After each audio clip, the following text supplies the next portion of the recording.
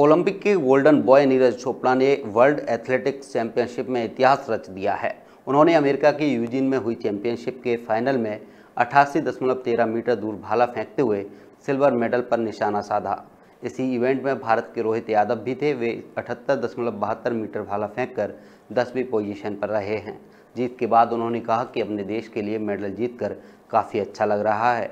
साथ ही कहा कि कॉमनवेल्थ गेम्स में अपना बेस्ट दूँगा।